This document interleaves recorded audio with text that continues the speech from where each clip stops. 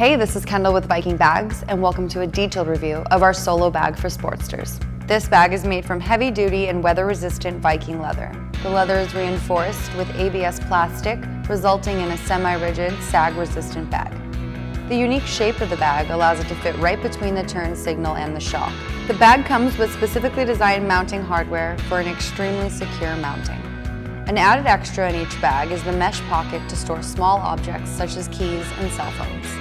If you have any questions about this or any other Viking product, go ahead and give us a call and we'll be happy to help you. Thanks for visiting us here at Viking Bags and we'll see you out there.